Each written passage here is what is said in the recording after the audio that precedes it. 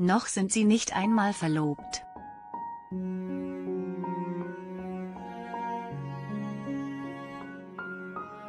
Doch Popsängerin Adele träumt bereits von einer Ehe mit Rich Powell und weiteren Kindern.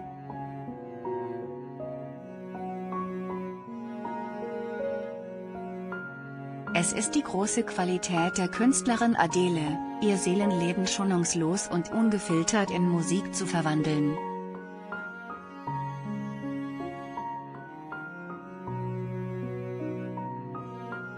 Auf diese Weise entstanden brillante Trennungsalben, zuletzt verarbeitete sie auf dem im vergangenen November erschienenen Album die Scheidung von ihrem langjährigen Partner und Ehemann Simon Konaki, dem Vater ihres Sohnes Angelo.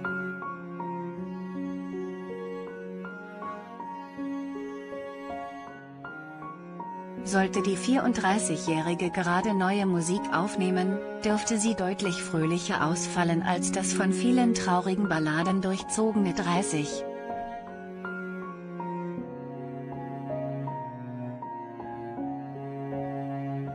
Denn Adele ist glücklich verliebt.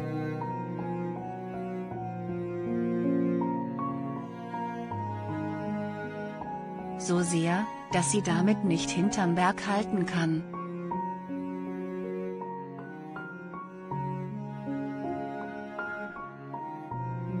Im Gespräch mit der britischen Ausgabe der Elle schwärmte die Sängerin in höchsten Tönen von ihrem neuen Partner Rich Powell.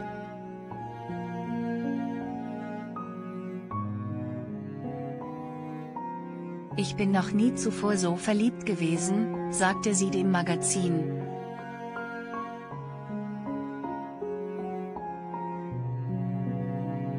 Ich bin besessen von ihm. Adele träumt vom Hausfrauendasein wie sehr, deutet sie mit mehreren Aussagen über die Zukunft an.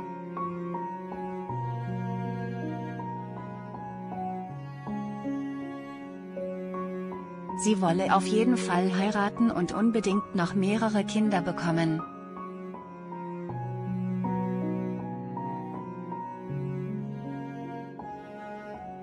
Recht häusliche Vorstellungen für eine Frau, die zu den erfolgreichsten Popstars der Welt gehört.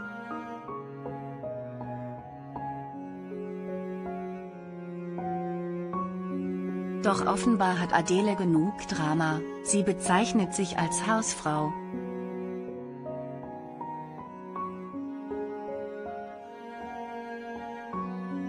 Musikpreis auch Männer unter den Siegern, die Grammys 2021 sind weiblich wie nie zuvor mit Ridge Powell ist die Musikerin seit mehr als einem Jahr liiert.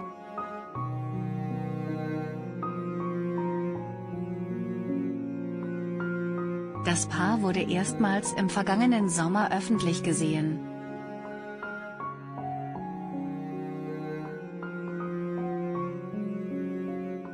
Paul ist ein erfolgreicher Sportagent, sein Vermögen wird auf mehr als 100 Millionen Euro geschätzt.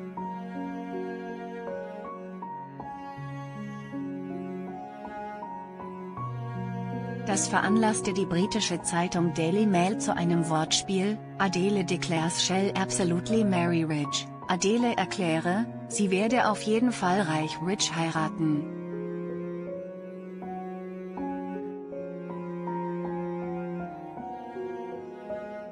Noch gibt es aber keine offiziellen Pläne.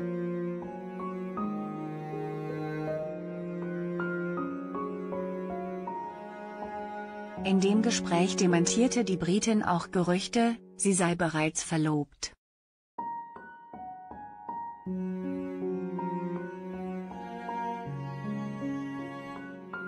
Doch sollte es tatsächlich zur Hochzeit kommen, dann könnte Rich Powell Gleiches von sich behaupten, auch er würde dann reich heiraten.